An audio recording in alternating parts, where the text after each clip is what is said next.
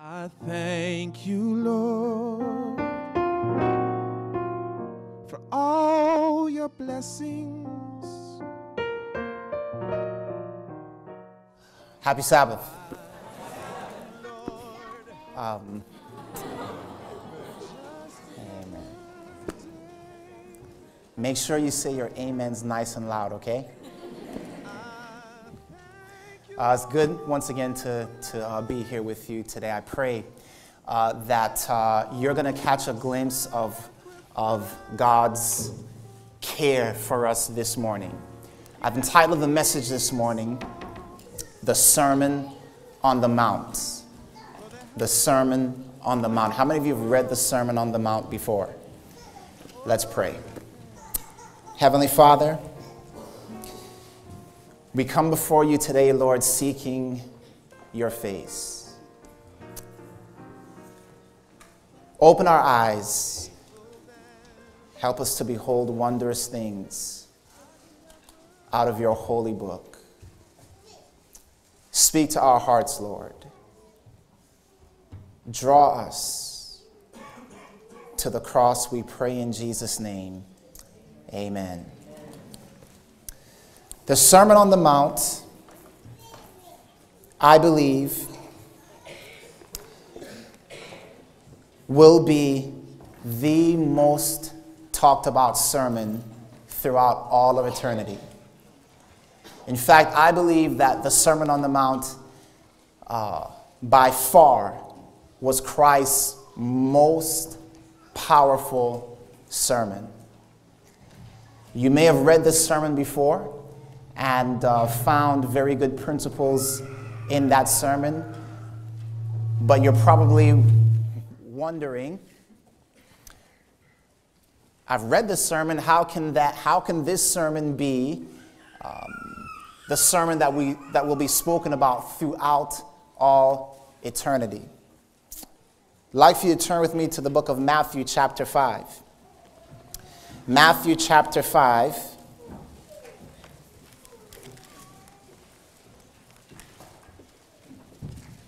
Matthew chapter 5. Now, uh, generally, when, when I mention the title of this particular message, um, there's a tendency to just kind of shut your minds down because I've read this before. So I'm going to invite you not to do that today. Amen? I want to invite you to, to, to uh, approach this parable as though you have never, I'm sorry, this, this uh, story as though you have never read it before.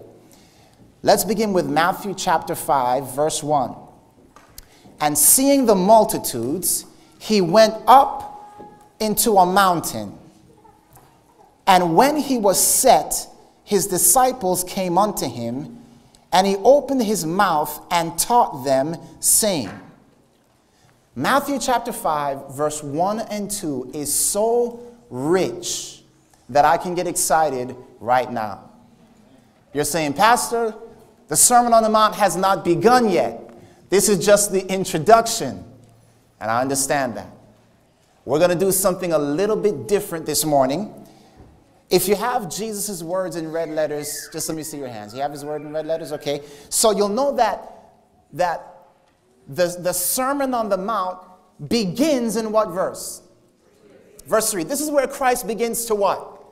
To speak. Okay? But verse 1 says, Seeing the multitude, he went up into, the, into a mountain, and when he was set, his disciples came unto him. And he opened his mouth and taught them, saying, and then begins the Sermon on the Mount. Now, I know that we said we're going to talk about the Sermon on the Mount, but right now we're going to skip the entire Sermon on the Mount. So let's go ahead and just roll your eyes down all the way through to chapter 5. All those words are in red letters. That means that when you get to the end of chapter 5, all of that is what, everyone? The Sermon on the Mount. You get to chapter 6, you'll see the red letters pick up, and you go all the way through chapter 6, and all of this is the Sermon on the Mount. Matthew 7, you go ahead and continue all the way through, And when you get down to the end of the chapter, you'll see there that Matthews 5, 6, and 7 is all the Sermon on the Mount. Look how Christ ends this sermon. Matthew chapter 7, verse 21. He says, Not everyone that saith unto me, Lord, Lord, shall enter the kingdom of heaven, but he that doeth the will of my Father which is in heaven. Many will say to me in that day, Lord, Lord, have we not prophesied in thy name, and in thy name cast out devils, and in thy name done many wonderful works? And then will I profess unto them, I never knew you. Depart from me, ye that work iniquity. So Christ, after he delivers the Sermon on the Mount, then says, Not everyone that what? Saith unto me, Lord, Lord, shall enter the kingdom of heaven. Not everyone that saith, but he that what? doeth the will of my Father which is in heaven. So Jesus closes the Sermon on the Mount with this analogy of listen, it's not about saying, it's about what? Doing. Now, he is about to close the Sermon on the Mount with a parable. Here is the parable, beginning in verse 24. Therefore, whosoever heareth these sayings of mine and doeth them. So, once again, it was not just about hearing and saying, but doing, okay? Whosoever hears and does, I will liken him unto a wise man, which built his house upon a rock. And the rain descended, and the floods came, and the winds blew and beat upon that house, and it fell not, for it was founded upon a rock. And everyone that heareth these sayings of mine and doeth them not shall be likened unto a foolish man which built his house upon the sand. And the rain descended, and the floods came, and the winds blew and beat upon that house, and it fell, and great was the fall of it. I want to suggest to you that Christ is found in this parable. Remember? wherever we study, we ought to be looking for who? Jesus. Now, where do you think Jesus is in this parable? Okay, most of you have said the rock, and, and absolutely, Jesus himself is known as the rock. But I want to suggest to you that Jesus is somewhere else in this parable. Jesus I would like to suggest to you this morning is the wise man in this parable. You say, Pastor, the wise man. Well, how so? What does that mean? Remember, the wise man builds his house upon a rock. Listen, go with me to the book of 1 Peter, chapter 2. 1 Peter, chapter 2. And let's take a look at verses 5 through 8. 1 Peter chapter 2 verses 5 through 8. The Bible says, "Ye also as lively stones are built up a spiritual house." Okay. Who is built up a spiritual house? Who? We are. You are lively what? Stones built up a spiritual house. So here's a question. If we are a house, then who's the builder? Who's the builder?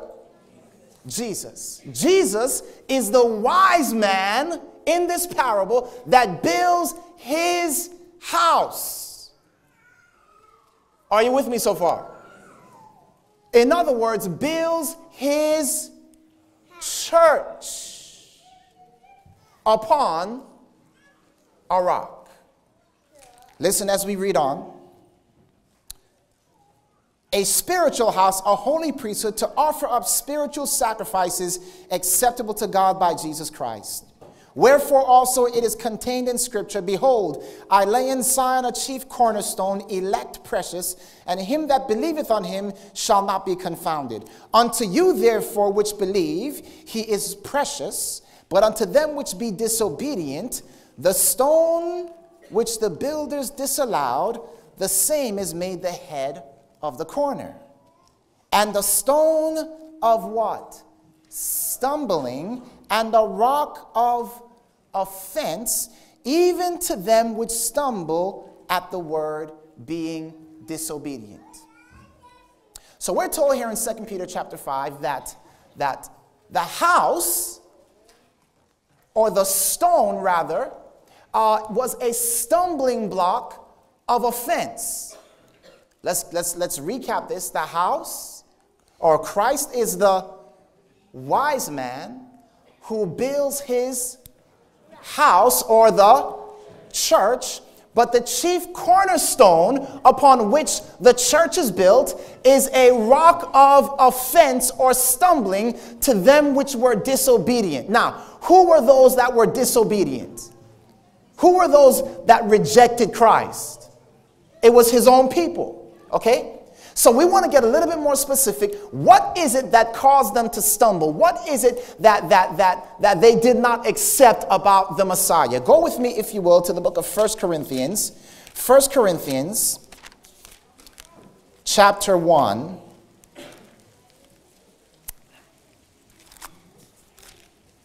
Verse 23. 1 Corinthians chapter 1 verse 23 the Bible says but we preach Christ what? Crucified unto the Jews a stumbling block. Unto the Jews a stumbling block. Let's put this all together. Christ is the wise man who builds his house or the church upon a rock. That rock, that cornerstone, was a stumbling block. And Paul tells us that the stumbling block was Christ crucified. In other words, beloved, Christ is the wise man who builds his house or his church upon the foundation of himself crucified. Are you with me so far? Now, go with me to the book of Matthew, chapter 16. Matthew, chapter 16. Matthew, chapter 16. We are studying the Bible this morning. Is that okay? Matthew, chapter 16. Notice with me verse 16. Matthew 16, we're going to read from verse 16 to 18. Listen to what the Bible says here. I say also unto thee, Thou art Peter and upon this rock, now pause right here. Do you remember what had just happened? Jesus and Peter were speaking, and Peter said, Jesus says to Peter, Peter, who do you say that I am? And Peter says, Thou art the Christ, the Son of God. And then Jesus says to him, Thou art, he says, uh, uh, uh, um, Blessed art thou, Simon Barjona, flesh and blood has not revealed it unto thee, but my Father which is in heaven. And I say also unto thee, Thou art Peter, and upon this what? Rock, I will, I will build my church. Upon what rock? The confession that Peter had just made. You are the Christ. Christ says, Upon this rock, upon this confession, I will build my church, and the gates of what? Hell shall not prevail against it. So, our question this morning is Did the church, was the church actually founded upon this confession? Go with me to the book of Mark, chapter 15. Mark, chapter 15, a little bit of background. Jesus has just been crucified. Mark chapter 15. And at the cross, there is a Roman soldier. And I want you to notice what happens. Mark 15, verse 39. The Bible says, And when the centurion which stood so cried out, I'm sorry, when the centurion which stood over against him saw that he so cried out and gave up the ghost, or what? What did he do? He died. He said, Truly, this man was the Son of God.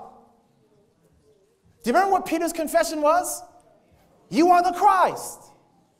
Now, watch this. Jesus dies. Question When was Jesus' church formed? When was it birthed, if you will? When was the New Testament church birthed? Where? It was birthed at the cross. I shared this last night. Do you remember how Adam received his wife? How did Adam receive his wife? He was put to what? Sleep, and his side was opened up. And his bride comes out of his side.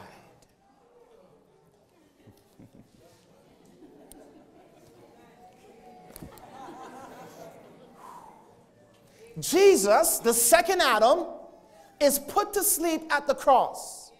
So the church, his side opened up, and out of his side, out of his death, comes the bride.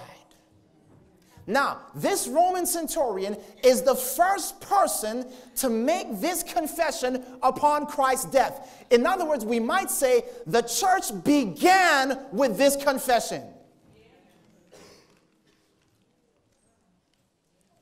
Now, I believe this Roman centurion knew who Jesus was. He had heard him speak before. He had what?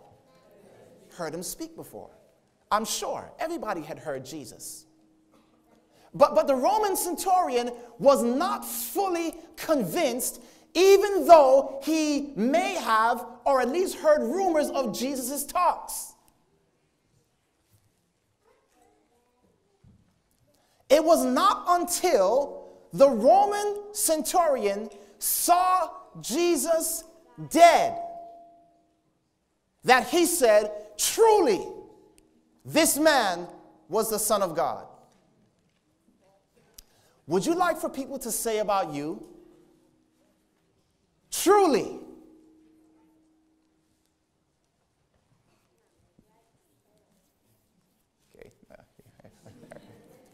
Would you like for people to say about you, truly, this is a man of God? Guess what? Jesus talked. The Roman centurion, okay, good words, interesting words.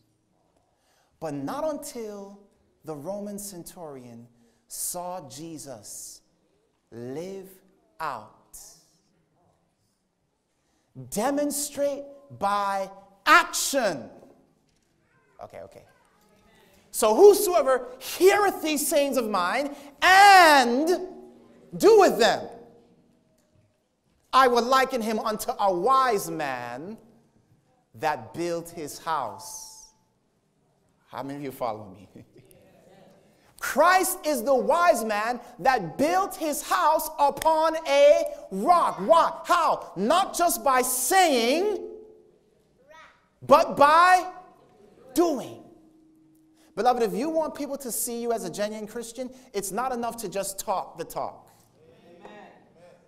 It's not enough to just, to just know the, the, the, doctrines and, and, and know, you know how to answer this question and that question. You have to live what you're preaching. You have to live what you're teaching. You have to live what you're studying.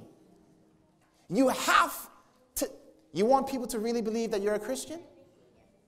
You have to die. When you die, people will say, truly. You understand what I'm saying?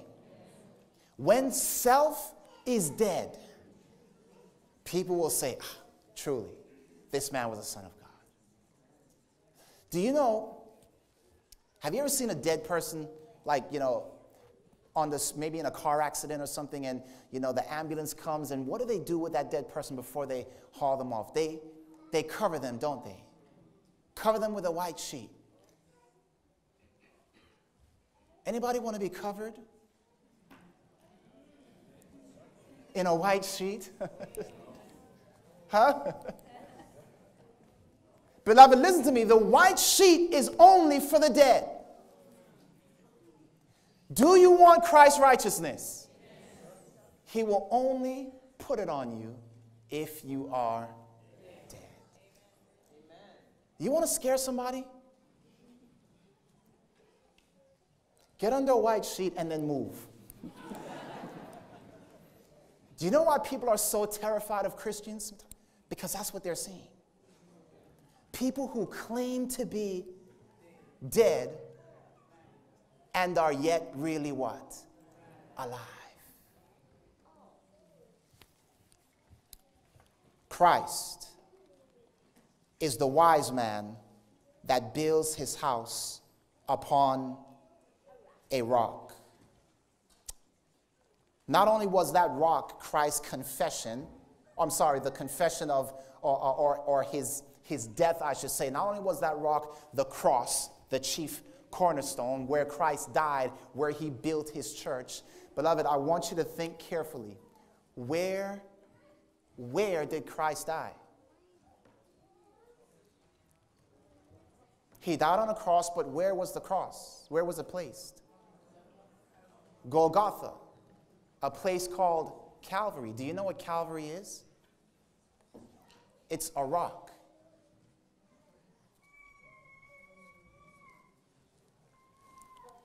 Just wait here for a moment. Christ is the wise man who built his house upon the rock. Amen. you keep going. upon the rock of Calvary. Review and Herald, June 7th, 1887, she says, He, that is Christ, laid the cornerstone upon the blood stained rock of Calvary. Beloved, the reason why Christ's church will stand through the rain and through the storm and through the floods is because it is built upon the death of Jesus Christ. Not only is the church built upon the death of Christ, go with me to the book of John, chapter 19, verse 41. John, chapter 19, verse 41. John 19, verse 41, the Bible tells us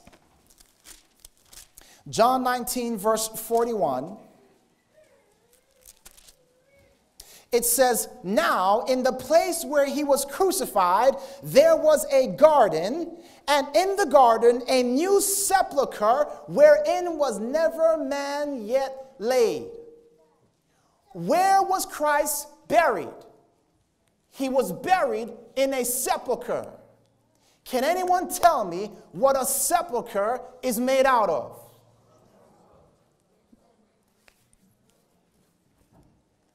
Beloved, listen carefully. The church of Christ is not only built upon his death, it is also built upon his burial. Upon this rock will I build my church. And watch this the gates of hell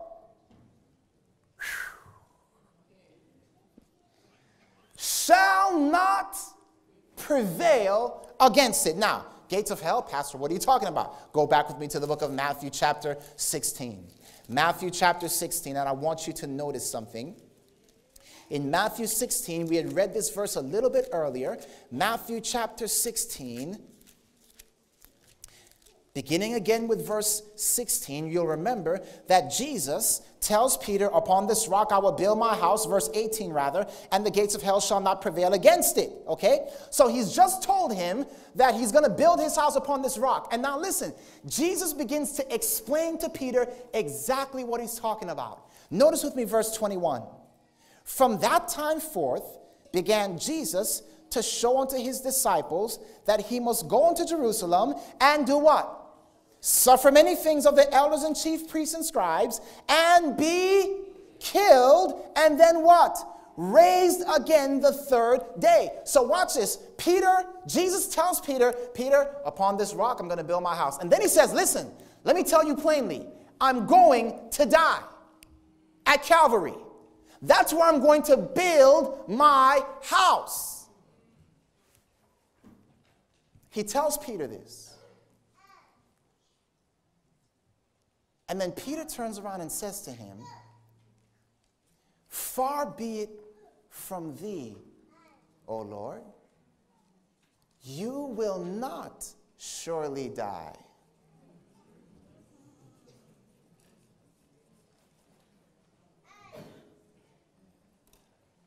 In other words, what Peter was ignorantly saying was Christ, no, don't build your church. Christ said, I'm going to build my church. It's going to be built upon my death and burial, and I'll be raised again the third day. Jesus says, Far be it from you to die. Now, what does Jesus respond to Peter?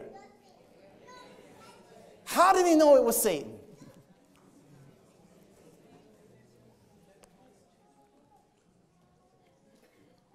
Do you remember what Satan told Eve in the garden? You shall not surely die. Beloved, listen very carefully. Anytime you hear a voice telling you that you don't have to die, live a little, have some fun, why crucify self? You know who it is speaking, amen? But Jesus says, the gates of hell shall not do what? Prevail against it. Go with me to the book of Matthew 27, verse 65. Matthew 27, verse 65. Matthew 27, verse 65. Something interesting here is happening.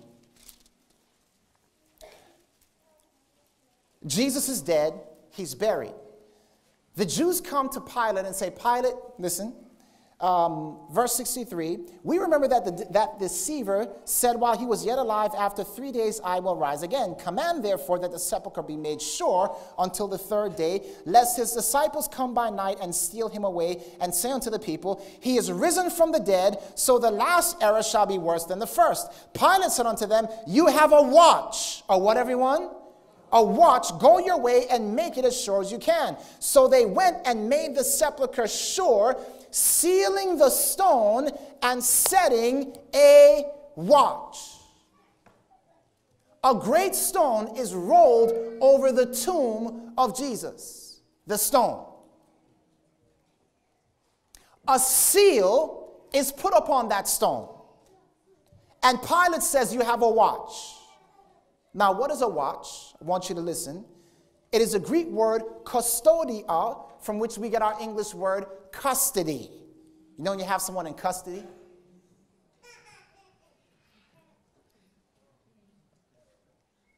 You see, Jesus was being held in custody.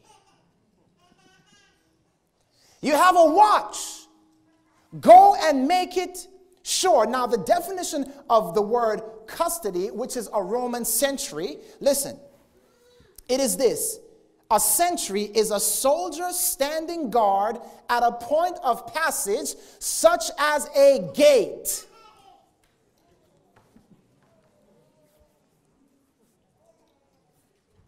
Upon this rock, Peter, I will build my church Okay, you're going to make me get excited alone, by myself. Upon this rock I will build my church, and the gates of hell shall not prevail against it. So, so please get the picture here. The Roman sentry is now surrounding the tomb, and upon the rock there is a seal. Now, what does a seal represent? A seal represents authority. Amen?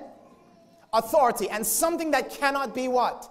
Changed or altered. Very interesting here. This Romans, this seal was the Roman seal. But according to Bible prophecy, uh, the book of Revelation 12 speaks about the dragon who went after Jesus, right? And the Bible tells us that this dragon that went after Jesus uh, tried to destroy him but failed. Okay, now, who does the dragon represent? Okay, in its very literal sense, who was the power that went after Jesus when he was alive? Rome, okay? So the seal represents Roman authority. But in a greater sense, Rome was only a puppet of who? Satan. So that seal on the stone.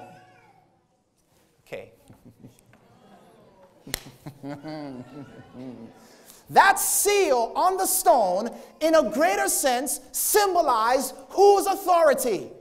Satan's authority. Keep him in the tomb. Do not let him out. The Roman guards and demonic guards are standing. But Jesus said, I will build my house upon this rock, and the gates of hell. Now, question what is hell? Come on, seven, eight minutes. What is hell? According to the Bible, uh, hell is the what? Grave. So what Jesus was saying, not I mean hell will will be burning, not yet, but as of now, hell is a grave. So what Jesus was saying was the gates of the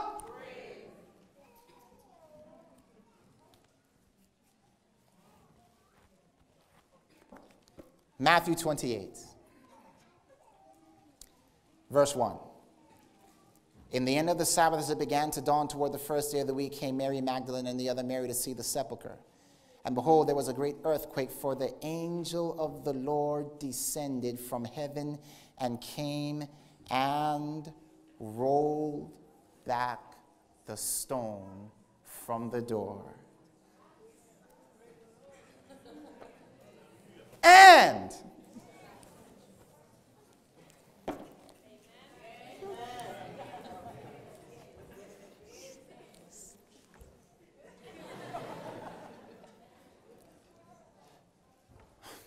Let me share with you so you get the picture of what it means to sit upon the stone. My older brother is six nine. He's uh, six years older than me. When I was a teenager, uh, around 12, 13, um, 5, 8, my brother was six nine back then. And you know, brothers get into fights. And my brother would, he would just irritate me. And, and I get mad at, you know, he made me cry, he cry, and I, I go to fight him, right? And these, this is how our fights usually went. Um, I would be swinging, and he'd have, his, he'd have his hand on my head. And he'd be laughing, and I'm just, oh, I'm gonna get you, I'm gonna get you, right? And then I'd always say, you know what, when I turn, like when I uh, get 18, then I'm gonna be your height too, and then it's gonna be on, it's gonna be over. I never got there. But that's how our fights would be. And then he'd be laughing, laughing, laughing. And after a time of laughing, he would then just pick me up, he'd put me on the ground, and then he'd sit on me.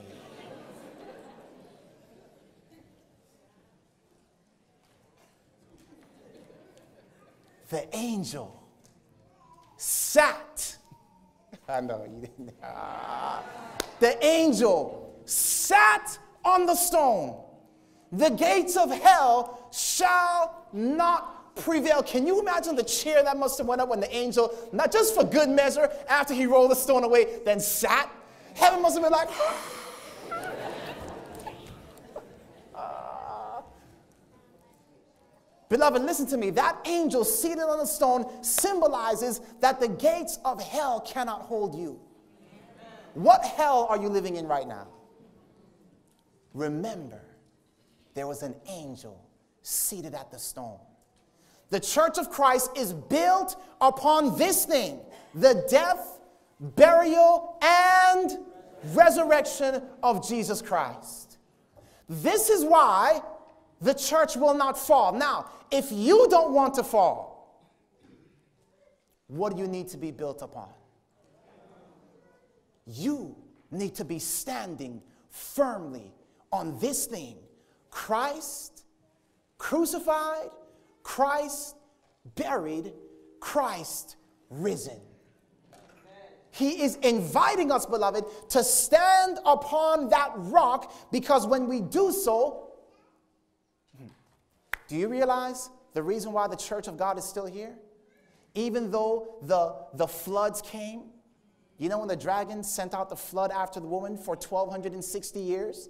You know why she's still here despite the flood? Because she was built upon a rock. When the rains descend, when the winds are let loose, when those four angels let go of those four winds, the church of God will stand because it is built upon a rock. Now, beloved, in order to better understand this concept of Christ setting free, by the way, when he opened the gates of hell, you know what he was doing? He was setting captives free. In order to understand this, I want you to go with me to the book of Daniel because this concept of the gates of hell is actually taken from a story found in Daniel. Go with me to the book, to the book of Daniel, chapter 5. Daniel, chapter 5. Daniel chapter 5, beginning with verse 1, the Bible says Belshazzar the king made a great feast to a thousand of his lords and drank wine before the thousand. Belshazzar, while he tasted the wine, commanded to bring the golden and silver vessels which his father Nebuchadnezzar had taken out of the temple, which was in Jerusalem, that the king and his princes and his wives and his concubines might drink therein. Then they brought the golden vessels that were taken out of the temple of the house of God, which was at Jerusalem, and the king and his princes, his wives, and his concubines drank in them. They drank wine and praised the gods of gold, silver, brass, iron, wood, and stone. What's going on here? Belshazzar, which is the king of who? Of what? Babylon, decides that he is going to mock God. And how does he mock God? He takes the vessels out and parades them before his people. While this is going on, while they're drinking, notice what happens in verse 5. In the same hour came forth fingers of a man's hand and wrote over against the candlestick upon the plaster of the wall of the king's palace. And the king saw the part of the hand that wrote. Then the king's countenance was changed, and his thoughts troubled him, so that the joints of his loins were loosed, and his knees smote one against another. Why is this going on? While Nebuchadnezzar, or while Belshazzar is, is having this feast, Belshazzar is actually under siege. How many of you knew that? Did you know that? Who was he under siege by? A man by the name of Cyrus, king of the Medo Persian Empire. Remember, Medo Persia overthrew Babylon, okay? So watch this. Cyrus, Cyrus is outside the city walls, okay? And, and, and Belshazzar is pretty secure because he knows that Babylon is surrounded by the river Euphrates. It, all, it, it, it seems impregnable. However, the word of God had prophesied hundreds of years earlier that Cyrus would penetrate Babylon. You want to read about it? Let's go to the book of Isaiah 45. Isaiah 44 and 45. We'll go to 44 first. Isaiah 44. Isaiah 44, beginning with verse 27. The Bible says here, uh, let's look at verse 26 that confirmeth the word of his servants and of his servant and performeth the counsel of his messengers that saith to jerusalem Thou shalt be inhabited, and to the cities of Judah you shall be built, and I will raise up the decayed places thereof. That saith to the deep, Be dry, and I will dry up thy rivers.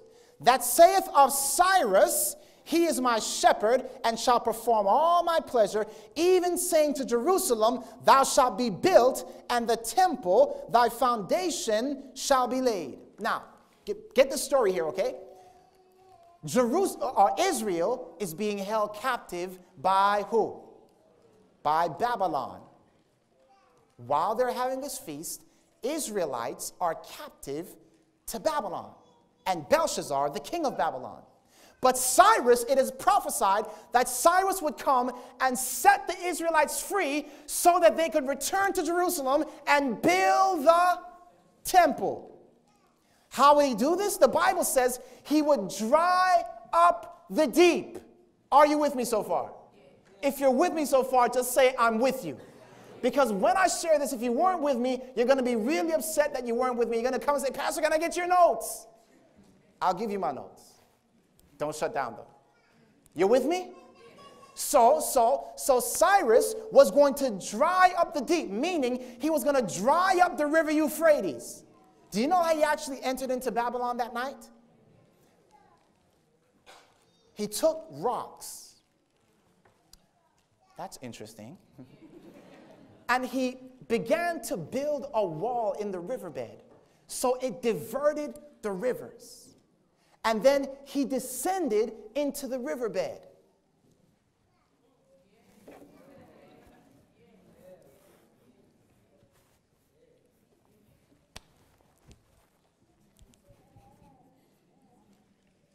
Chapter 45, verse 1. Thus saith the Lord to his anointed, to Cyrus. Now, pause right here. That's kind of strange. That God, as he's speaking about Cyrus, calls him number one, his shepherd, and then number two, his anointed. Hmm, you know what the word anointed means? It means Messiah. Huh. Could it be that Cyrus was a type of Jesus. Watch this. Whose right hand I have holden to subdue nations before him. I will loose the loins of kings. Remember what happened to Belshazzar when he saw the writing on the wall? His loins were loosed. Watch. I will loose the loins of kings to open before him the two leaved gates, and the gates shall not be shut. Wow. So watch this. Cyrus, as Belshazzar thinks he's comfortable in his impenetrable dominion, Cyrus is outside the city walls.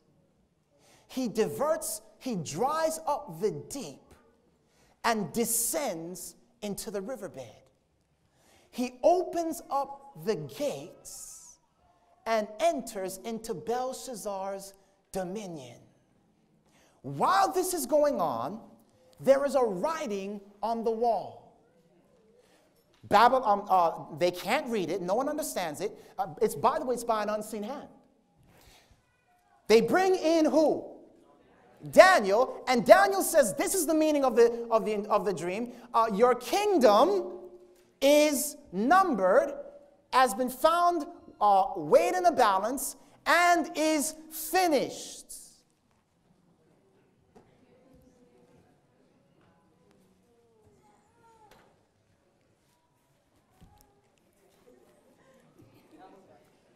Your kingdom is finished.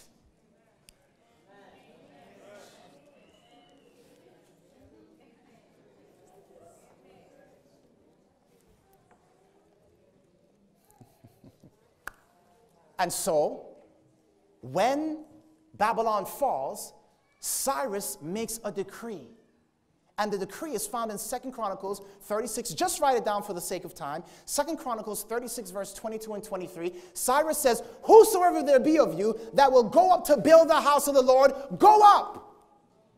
You're now free. Whoo! Belshazzar, beloved, is a type of who?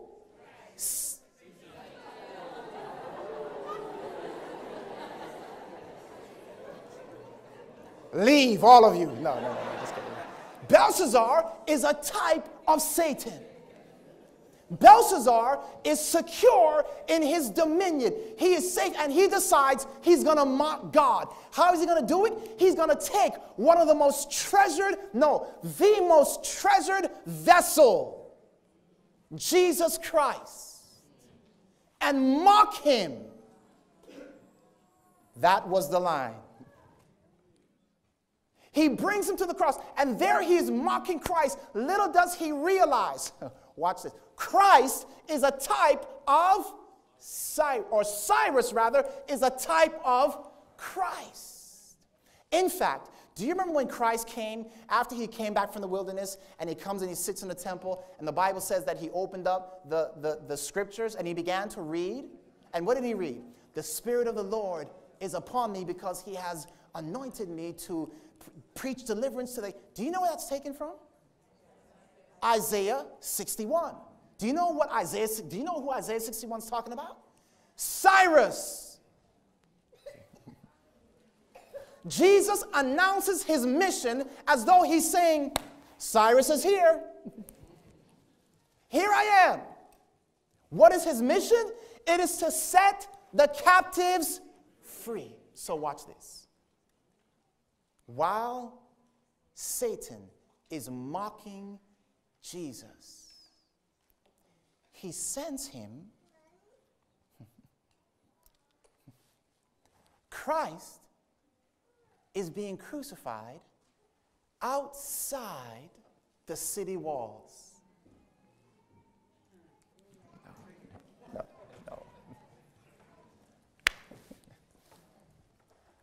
Outside the city walls, Christ in his death descends. Man. descends into the devil's dominion, opens up the gates. Watch this. At the same time this is going on, an unseen hand.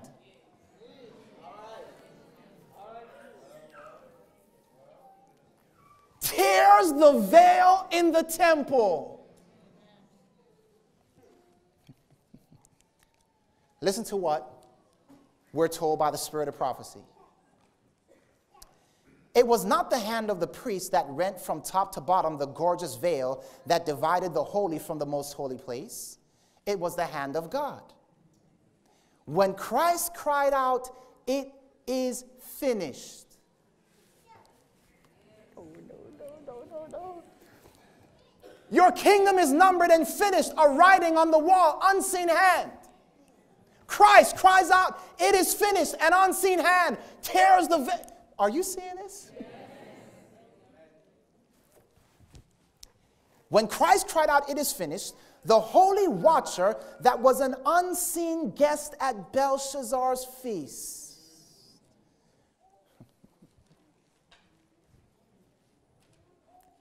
She says, The same hand that traced on the wall the characters that recorded Belshazzar's doom and ended the Babylonian kingdom rent the veil of the temple from top to bottom.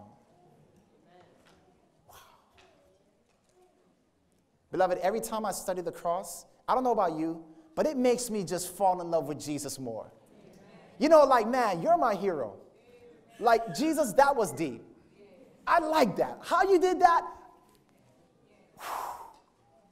I mean, God is so good. He lays out for us the pattern of how He's going to work centuries before He does it. And then when He does it, He says, I just told you, I just wanted you to know, I gave that story to you so that when I did it, you could recognize that I am the Cyrus of God. And so Christ through his death, burial, and resurrection, sets us free, but he doesn't just set us free so that we can relax. He sets us free for a very specific purpose. He sets us free so that we can build and finish the temple of God.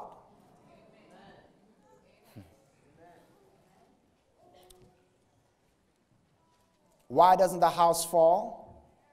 Because it's built upon a rock. Christ sets us free because he has something that he needs us to do. Well, beloved, I, I, I want to share this with you because when we look at Christ's example, in fact, do you remember what the prophecy stated about a house being rebuilt? God's house being rebuilt? It's found in Daniel chapter 9. You all should know this. You know, that 70 week prophecy. Remember that prophecy? 70 weeks are determined upon you and your people. And it all talked about how the sanctuary was going to be what? Rebuilt. Rebuilt and ultimately cleansed. I want you to notice the work that was to be done. Go with me to Daniel chapter 9, verse 25. You say, Pastor, are we still talking about the Sermon on the Mount? Absolutely. Daniel 9, verse 25. Daniel 9, Daniel 9, verse 25. The Bible says here 70 weeks are determined upon thy people and upon thy holy city to finish the transgressions, to make an end of sins, to make reconciliation for iniquity, to bring in everlasting righteousness, to seal up the vision and prophecy, and to anoint the most holy. Know therefore and understand that from the going forth of the commandment to restore and to build Jerusalem unto the Messiah the Prince shall be seven weeks and threescore and two weeks. Excuse me. The streets shall be built again, and the wall, even in troublous times. Please, I want you to notice four things here that we just read. Remember, Cyrus had set the people free so that they could begin the work of doing what? Rebuilding the temple or the house. Remember, who is the wise man in our parable? Jesus Christ. Christ is a wise man that builds his what? House upon a rock. So listen carefully. Thank you. There were four things that were to be done to complete the house. This is absolutely not only amazing, but beloved, you need to pay attention because how many of you want to go home? You want to go? No, no, no. not home, home. Are you bored? No. How many of you want to go home? Amen. But in order for us to go home, the work must be finished. When God's house is completed, when everything He desires to be built is built, what happens? The Shekinah glory comes and fills the place. You want the Shekinah glory to come? We got to finish. We got to be uh, aware of the work that's going on and what needs to be done in order for it to be finished. Amen. So, so watch this. There were four things to be done for the house, for the building of God to be completed. Number one, we're told that Jerusalem was to be rebuilt. Number two, the temple itself was to be rebuilt. This is not in order, but Jerusalem, the temple, the streets and the wall. Repeat that with me. The temple, the city, the street, and the wall. I want to share with you that Christ accomplished all of this at the cross. The temple. When you think of the temple, what is that place? the, be- the most holiest place in the temple, where is it? It's in the most holy place. There's something interesting about the most holy place that I want you to get here very quickly. The most holy place held the throne of God. And wherever the throne of God is, there you have God's kingdom. It represents his what? Authority. Are you with me so far? God's authority or his kingdom is wherever his throne is. Now, you remember that Satan challenged God's what? Kingdom, right? He challenged his, his authority, his throne, and as a result, Satan was cast out of heaven. Now, God proceeds to create planet Earth, and in Earth, He creates the Garden of Eden. And in the Garden of Eden, He, he puts something that is the sign of His authority. Who knows what that thing was? You got it. The, the tree of life. The tree of life. That tree of life represented God's authority. In fact, the tree of life, we are told, was in the midst of paradise. Are you with me? So watch this. Wherever you find the tree of life or God's throne, there you find paradise or God's kingdom. Now, when Adam and Eve sinned, something happened. You'll remember that God curses the ground. Do you remember that? Now, why did he curse the ground? Very simple. The reason God cursed the ground was because he was now using the ground as a symbol of man's carnal mind and heart. You know, when the Bible tells us about, you know, stony ground? Or, or, or, or, you know, the thorns and the thistles that began to grow out of the earth? It's a representation of, you know, before man sinned, the earth was what? Perfect, right? It was reflecting the perfect nature of God and the perfect nature of man. But now, when man sinned, what happened? The earth, the ground began to grow thorns and thistles. It's representative of our human hearts and our minds. So the ground became cursed, representing man's carnal mind. God's desire, therefore, would be to reestablish the throne of his authority where? On earth. So when Jesus comes to earth, his plan is to replicate, is to reproduce the throne room scene. Remember God's throne? By the way, when you looked at God's throne, you remember that, and if you look in the most holy place, you had the Ark of the Covenant. What was inside the Ark? the law of God. And what was on top of the ark? The mercy seat, right? And then on either side, you had the covering cherubs. Okay, so, so Christ's mission was to reproduce the throne room scene on earth.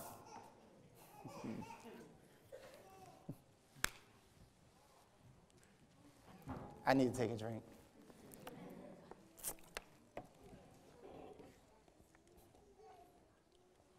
Ellen White tells us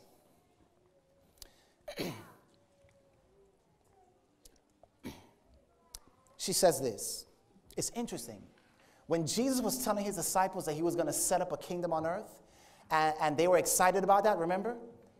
And or he was going to set up his kingdom. The kingdom of god has come.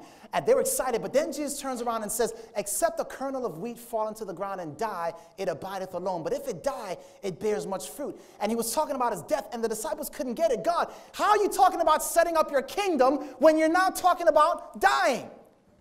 That doesn't make sense to me. How does that add up? Listen to what ellen white says. Review and herald june 5 1900 she says as his prophetic eyes saw the results of his sacrifice Christ exclaimed, Now shall the prince of this world be cast out. And now, if I be lifted up from the earth, will draw all men unto me. In the place where Satan has his seat, there will I set my cross. Now, what, what does a seat represent? Throne, authority. In the place where Satan has his throne, there I'm going to set my cross. Hmm, what in the world is he talking about? Listen, where did Jesus die? Place called Golgotha. Anyone know what the word Golgotha means? Place of a what? Skull. Question. Question. Think about this. Could it be possible that the skull shaped hill of Calvary would symbolize or represent the combined human and demonic hatred against Jesus? What do you think? This is the place where humanity demonstrated its what? Hatred against Jesus. She says, in the place where Satan has his seat, there I will set my cross. Could it be that Jesus came to die on this earth, to die at Calvary, to redeem our carnal minds? Wouldn't it be nice to have the cross of Christ planted firmly in your mind? You know what Christ came to, to do when he died? He came to write his law in our what? In our hearts and in our minds. So picture this with me. Imagine that skull shaped hill, Calvary. Imagine that's your head. You got it? And in your head, when you look at Calvary, Christ wants to write his what? His law in your in your mind. It's almost like your mind is to become the ark of the covenant. Now, if your mind is to become the ark of the covenant, what did we find on top of the ark?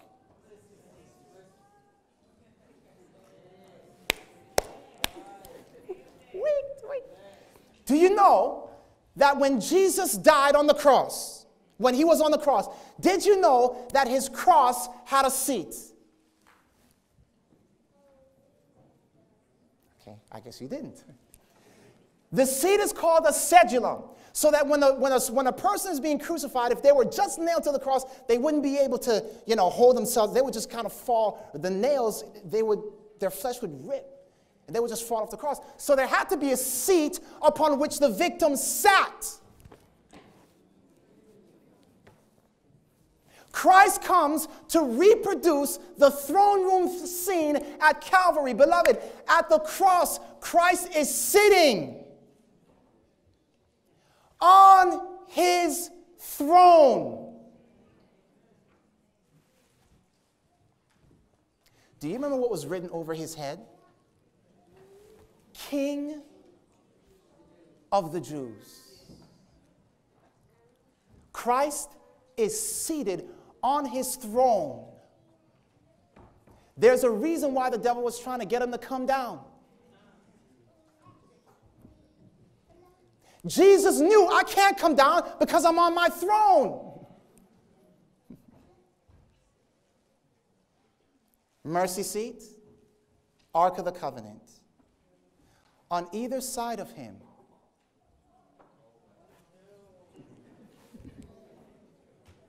Check this out, beloved. In heaven, there were two angels. One was for God, and the other turned against him. See, I'm telling you, you guys are kind of like zoning, okay, oh, what did I just miss? I'm telling you. I'm telling you. One was for him, one was against him. Beloved, at the cross, Christ rebuilds the throne room scene. He is seated on his, he's seated on his throne. Two, one for him, one against him. He's wearing a crown of thorns. In fact, do you remember when the disciples came to Jesus and said, Would you grant us that we might sit on your right hand and on your left hand when you come into your kingdom? No, no, no. And what did Jesus say to them? Are you sure? Are you sure you want to sit on my right hand and my left hand when I come into my kingdom? Are you sure? I don't know if you know what you're asking.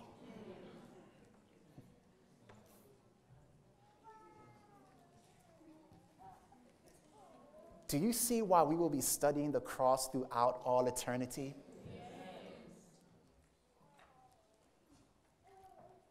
Remember that thief on the cross? Remember when, when you come into your kingdom? I know as Seventh day Adventists, we have the comma. Comma. He didn't mean today. He meant in the future, you'll be with me in paradise. But, but, but, could it be that when Jesus said, Verily, verily, I say unto you today, remember, wherever the tree of life is found,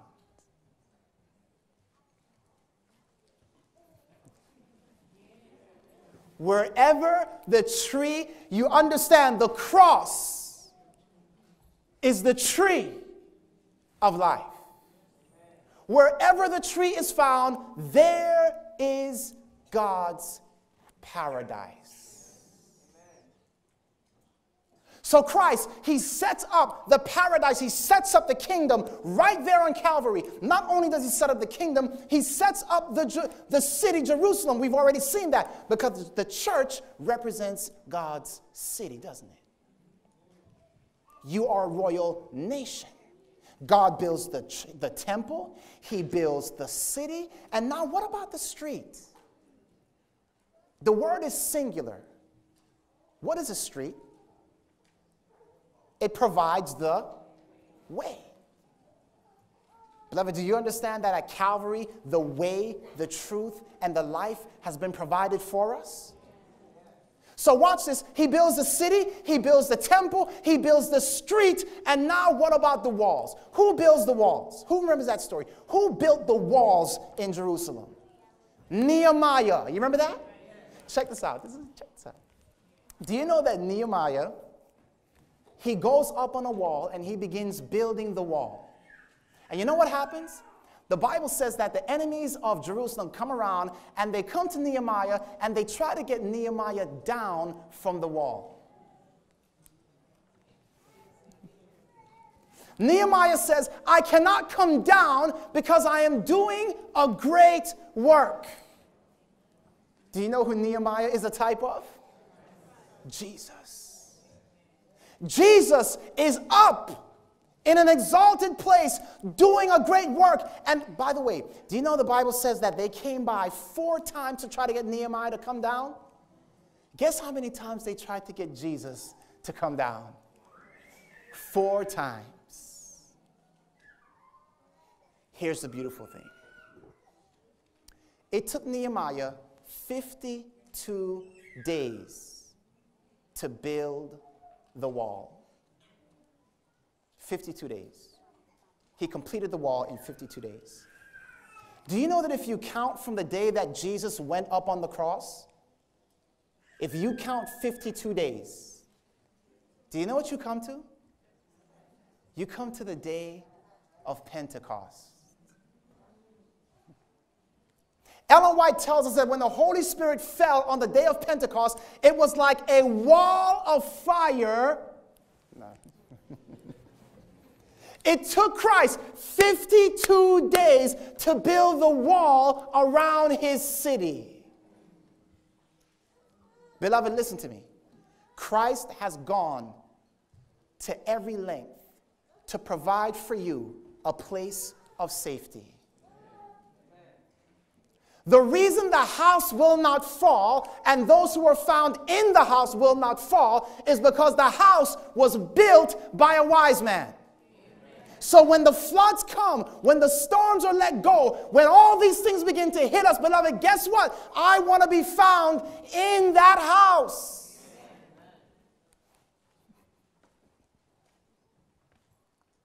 Do you remember how we began the Sermon on the Mount? Matthew 5. Matthew 5, verse 1. Are you ready? Open our eyes, Lord, that we may see. Matthew 5 and verse 1. And seeing the multitude, he went.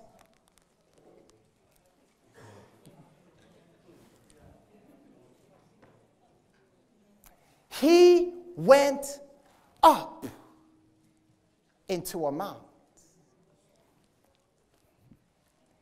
And when he was set,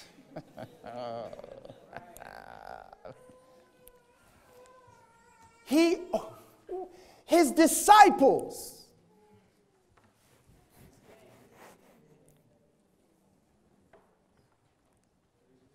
Are you seeing something different in this verse? Now, watch this. The Bible says his disciples came unto him, and he opened his mouth and taught them. Now, watch this. Jesus begins to speak. He's on, he's on a mount, he begins to speak, right? And then he ends it by saying, Now, it's not just about what I just said. It, this, what I just said, must be done. So, so, get this. Could it be that the Sermon on the Mount in Matthew 5, 6, and 7 was only a snapshot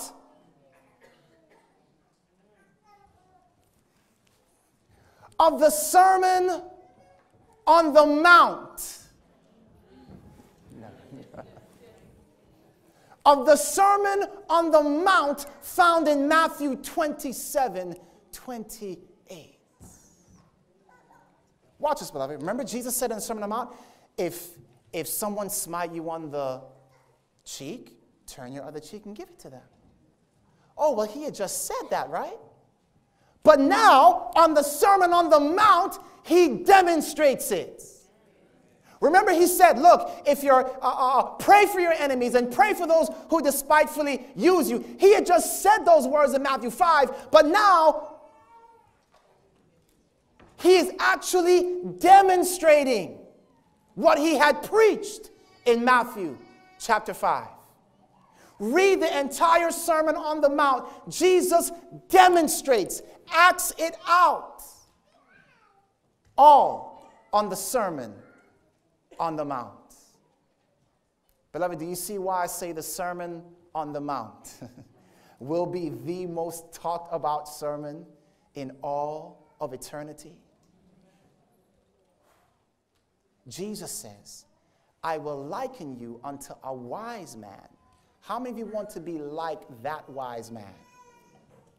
Beloved, Jesus is appealing to us today. Get into the house. Come into that place where you have a wall of protection, my Holy Spirit, where I have done the work for you. Come and abide there, and when the winds are let loose, you will be safe. How many of you desire to be safe in the house of the Lord? I want to make a very special appeal.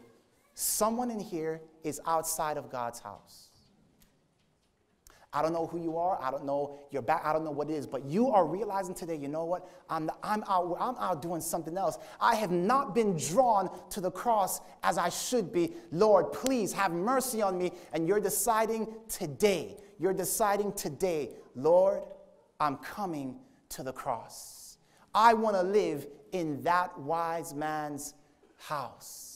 I'm tired of the winds coming and always blowing me away. I'm tired of the floods always carrying me away. I'm tired of it, Lord. I want to build my house upon the sand anymore. I want to build it upon the bloodstained rock of Calvary. I want to start anew today. If there's someone here like that, would you raise your hand? Praise God. Praise God. God and the angels are rejoicing because today, beloved, you have been set free by the blood of Jesus Christ. There's an angel seated on the stone that says, Remember, you are free in my house. Go, go, and finish the work I have called you to do. Let us pray. Heavenly Father, I thank you, Lord. your word is so rich. Your word is so powerful, Lord. We have seen Christ and Him lifted up. Christ and Him crucified is on every page of this book. Teach us, Lord, to look for Him and behold Him, because by beholding Him, we shall indeed become changed. Teach us, Lord, that it is not enough for us to simply hear your words. We must not only hear, we must also do. Help us, Lord, to be found in that house and upon that rock is our prayer in Jesus' name. Amen.